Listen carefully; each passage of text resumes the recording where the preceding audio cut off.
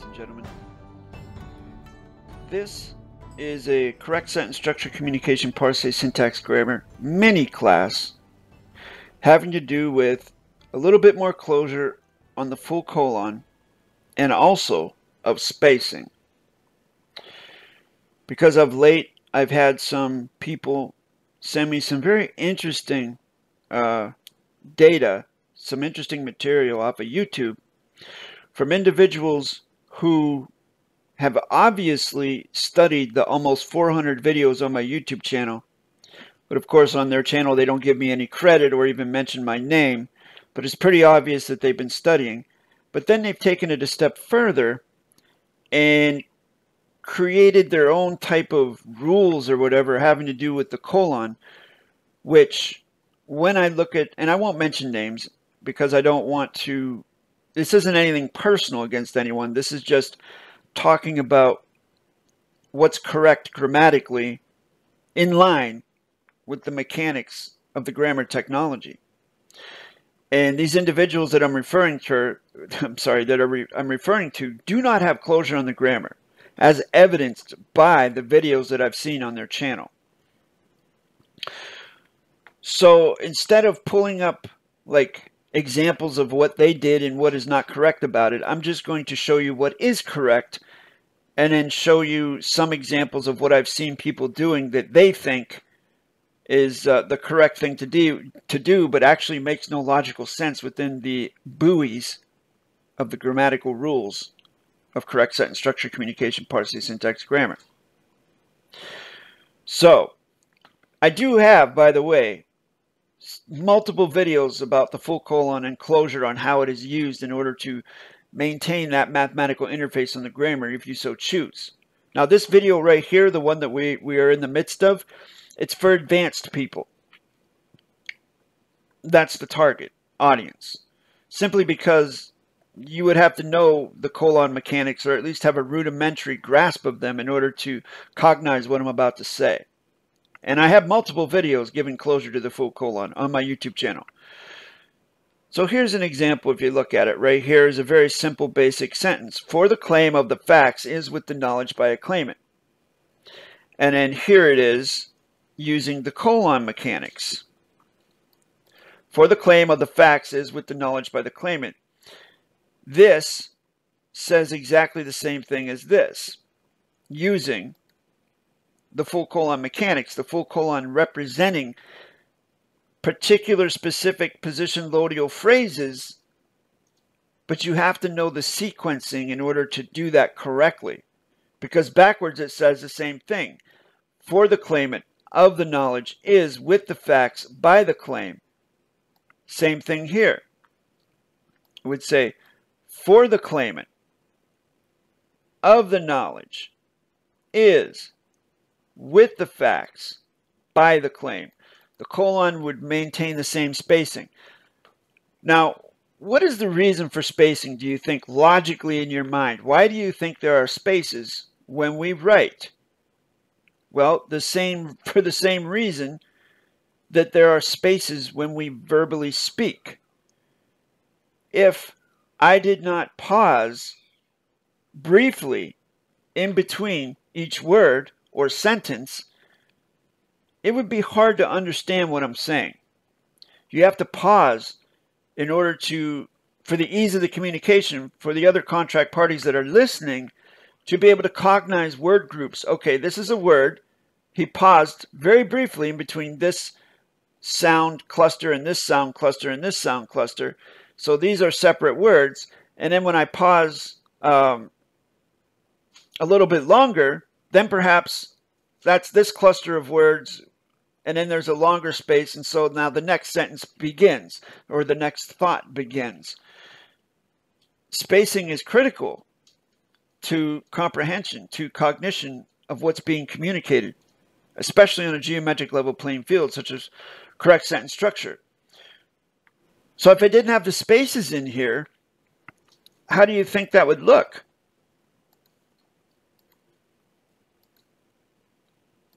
you see where I'm going with this?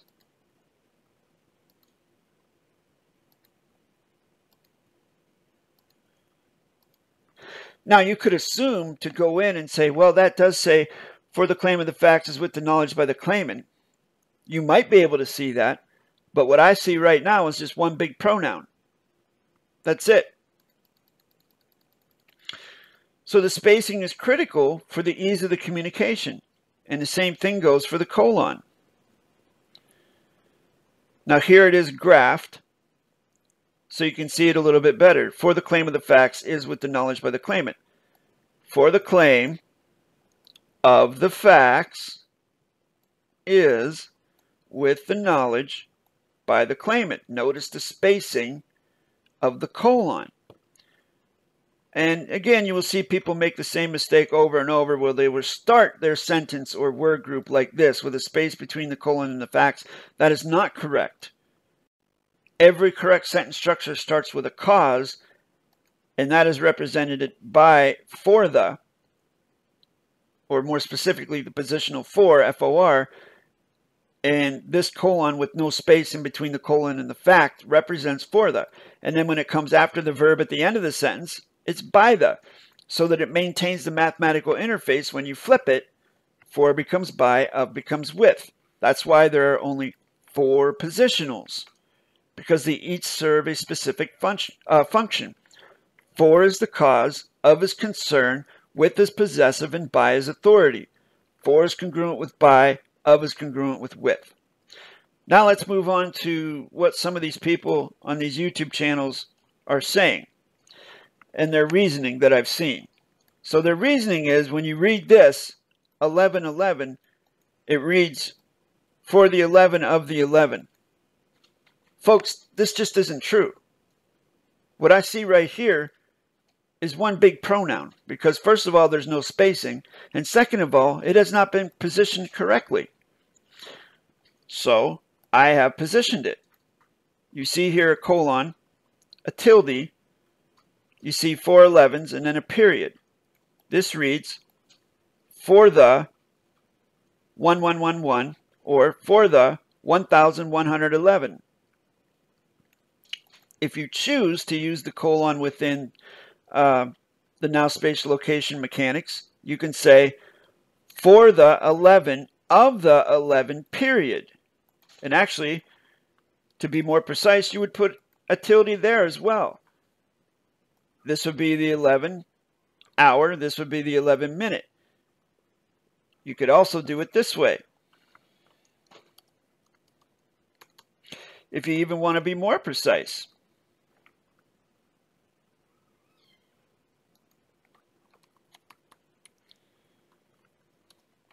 For the hour 11 of the minute 11. There are all sorts of different ways you can write this. And these are all correct. This is a pronoun. This is a fact. These are facts. So here's what it looks like, a simple claim with no spaces in between the colons and the facts. And when you graph it, it looks like this. so basically what you have here is two clusters of symbols, of hieroglyphs. Two clusters. One, two. Sorry. Yeah, two. So basically, that's an adjective pronoun scenario.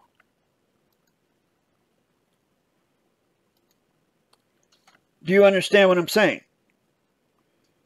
There's no spacing. There's no room for cognition.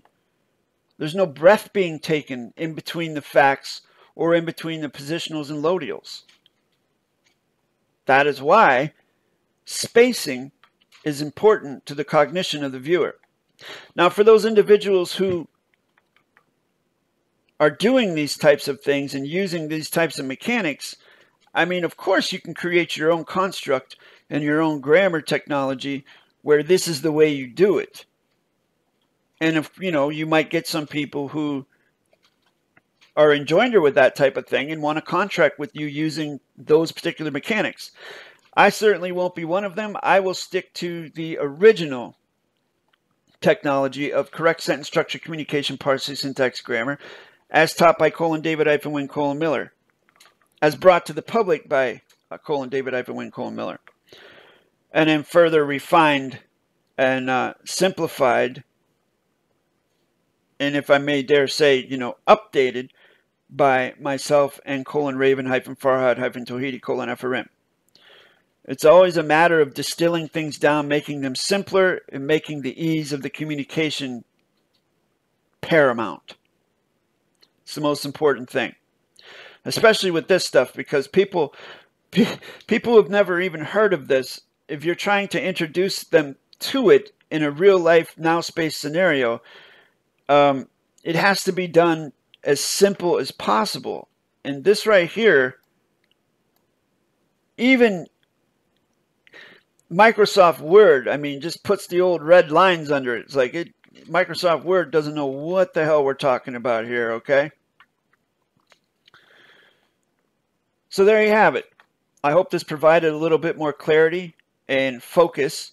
Keep in mind also, and this is just a suggestion to my loyalist and contributor students on this YouTube channel, when you're looking at other correct sentence structure tutors or videos, what are their credentials?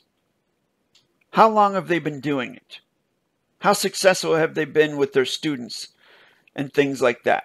How many videos does their YouTube channel have? What do the comments say? So on and so forth. Do they credential themselves? Do they put their face on camera and their correct name and make it very easy for you to certify what they're saying? These are all things to take into consideration. And I have no issue saying that because I myself, as I stated at the beginning, I have almost 400 grammar videos on this YouTube channel certifying my knowledge and the way I teach things, the mechanics. I talk about the same mechanics over and over and over, but from different angles, um, different viewpoints, so that it can be taken in by a multitude of different types of personalities and different types of people and cultures. Um, literally, I could probably whittle all those videos down to maybe 50 videos putting out the essential basic mechanics. However, not everyone learns the same. So that's why I do things and re get repetitive on it such as this video, explaining things I've already explained, but from a different angle. For those that perhaps don't get it from all the other angles, maybe this angle will be the one that, that causes them to go, aha, now I get it. Now I know why they're spacing. That makes logical sense. You have to take a breath in order for you to understand me. Especially if we're foreign to one another, which we are. Thank you very much for watching. Uh, if you're interested in applying for a grammar workshop, you can email me at jasonmatthewg17 at gmail.com. Again, you know, I've been teaching this for five years to literally hundreds of people all over Earth. Um, I've pretty much refined it down to a science, teaching this stuff. And this year has been my most successful year yet. People are learning it very fast because they've been studying my YouTube channel before they come to me. They just basically come to me to, to refine what they've already learned. So feel free also to study the YouTube channel. It's my gift to my fellow mankind. Almost 400 videos on there. If you're interested in quantum grammar, it's an awesome spot to look at. Thank you again. Peace. Thank you for watching this video. I hope it provided some clarity on the subjects mentioned. You can email me at the email address that's uh, been screened at the bottom of your picture for the whole video, jasonmatthewg17 at gmail.com. If you have any grammar questions, or if you wish to participate in a 10 to 15 minute video consult, or if you wish to apply for a correct grammar workshop, you can email me there. Uh, please like and subscribe to this channel and also my Coral Blade Grotto channel if you'd like. And always remember that authority comes from knowledge and the skill in conveying that knowledge and closure. Thanks.